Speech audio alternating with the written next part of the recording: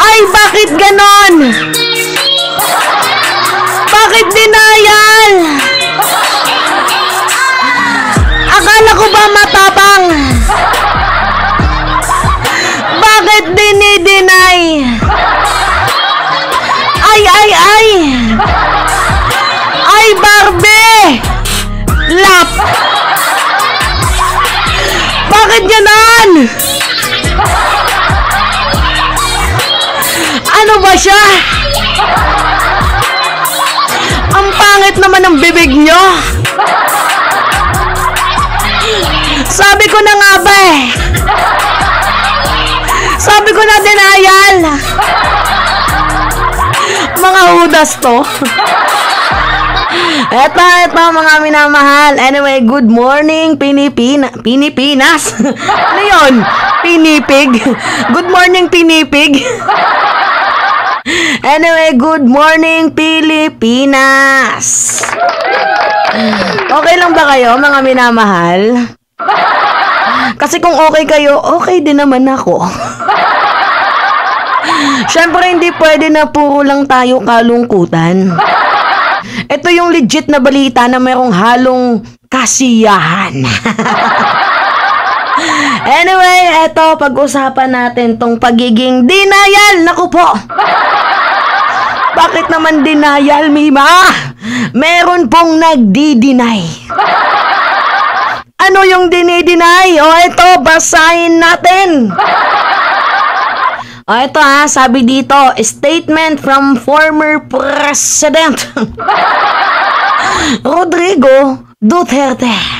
So ito yung statement niya nung July uh, 22, 2024. So naglabas pa na ng statement, naku pa! Eto, meron pong halong mali siya to guys. Kasi ano eh, tawag dito, parang laglagan na sa bangin. Biruin mo, ginagawa mong tangang mamamayang Pilipino. Well, ang dami namang tanga. Tingnan mo, dami pa rin naniniwala sa'yo eh. Anyway, sabi dito, BBM's refusal is the best, is best authentication. Yan po yung sabi. So, the hakbang maisog national leadership has nothing to do with the release of the video footage showing that showing President uh, President Ferdinand Marcos Jr. in the act of sorting cocaine in Maisog Gathering, Vancouver, Canada, and Los Angeles, USA. So sa madaling sabi daw, walang kinalaman itong sidigong. Dito nga po guys sa cocaine video. Na kumalat in short sa pulboronic video ni PBBM na kumalat sa social media na itinaon pa mismo sa zona ng ating presidente. Yan yung sa yan yung sabi nila, walang kinalaman daw po itong si former President Duterte. Naniwala kayo, naniwala naman kayo mga minamahal? Ganito ah, kung walang kinala, ganito, mat- natatandaan ninyo yung naging statement ni former President Duterte to be exact nung January 28 nung kanilang first uh, hakbang ng maisog sa Davao. Kanino ba nang galing yung salitang si Marcos Bangagyan? May adik! Tayong presidente. Kanino nang galing yung salitang yan? Di ba sa'yo? Tapos ngayon na mayroong cocaine video, nagde-deny ka? Abay parang wala ka namang bayag nun.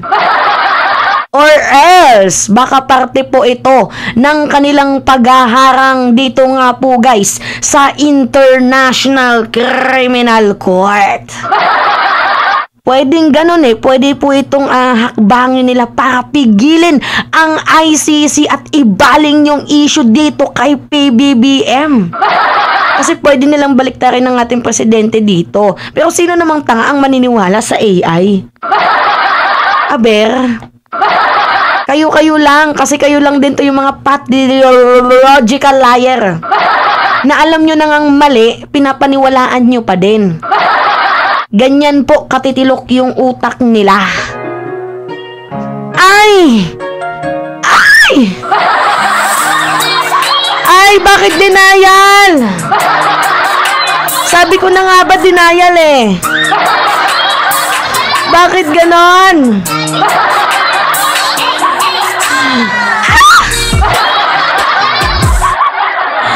Anyway, continue tayo sa ating pagbabasa. It was a decision uh, it was a decision made entirely by the Hakbang Maisog volunteers in the said uh, two places without the knowledge and imprimatur of the Maisog organizer organizing committee. The members of the Maisog leadership is just a surprise as the rest of the country when they saw it from the very first time. Alam nyo, sa totoo lang, ang demanding, ang demanding talaga ninyo. Hindi magkalinawan nga tayo. Sa sobrang demanding ninyo, alam nyo, yung issue ninyo, sagutin nyo muna. Hindi ganito. Ang demanding nila na magpa-drug test itong si PBBM na nung election pa naman po nagpa-drug test itong si PBBM eh. Eh bakit nung panahon mo, Digong, bakit hindi ka nagpa-drug test? At ano nga ulit yung sabi ni Harry Roque? Wala daw karapatan ang kahit na sino para diktahan ng Pangulo. Yan yung sabi ni Roque nung panahon mo. Pero dito sa ating presidente, dinidiktahan ninyo. At saka beside, ganito ha, pag-usapan natin yung salin nyo, maiba tayo. Kami, gusto namin marinig, ipakita, i-release ninyo yung salin nyo. Yan yung demand ng taong bayan. Di ba nagdi-demand kami na ilabas nyo yung salin nyo? Ginawa ba ninyo? Hindi. Di ba tapos ngayon nagdi-demand kayo na magpa-drug test itong si PBBM? Huy, utak nyo may ubo. Grabe na yung pag grabe na yung epekto sa inyo ng fentanyl. Isip-isip din, huy. Gising-gising din, huy. Nak ng tokwa. Diba? Ay, denial!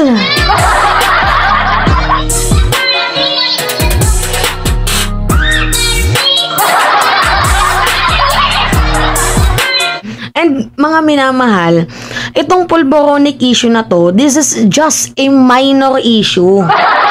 Hindi totoo, minor lang to, maliit lang tong issue na to.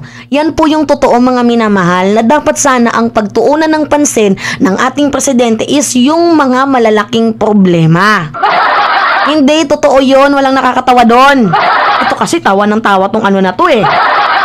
'Di ba? Yung malaking issue yung pagtuunan yung talagang kailangan ng mamamayang Pilipino. So ano yung issue dito na dapat pagtuunan ni PBBM? Unang-una, inflation. Pangalawa na dito, yung sa Pogo. Pangatlo dito, West Philippine Sea. Yung crime, uh, crime rate. 'di ba Yung uh, employment rate. Yun dapat yung pinagtutuunan ng pansin ni PBBM at yun naman talaga yung pinagtutuunan ng pansin ng ating presidente. And kayo pinipilit nyo na ilihis yung issue? dinidistract nyo ang ating presidente. Kasi yun naman talaga yung punto nila, to destabilize, to assassinate the character of the president. Kasi atat na silang maupo si Inday eh. Anong mapapala namin kay Inday? Anong alam niyan? May utak ba yan? Puro nga yan no comment eh. Tapos sa Sona no show pa din. Talaga nga namang pinanindigan niya ang kanyang pagiging tukmol. 'Di ba? Kaloka. Hindi ba kayo Hindi ba kayo nag-iisip? Minsan na nga lang kayo mag-isip yung hindi pa pinag-iisipan. Nag-iisip ba kayo? 'Di ba? Kaloka. Anyway, yun lamang po guys. Sabi ko na. Sabi ko na, denial. Oh, hey! Sabi ko na, yeah, denial, oy. Anyway, it's me again, si Mima Alicia nyo at magbabalik ulit para sa ating panibagong video.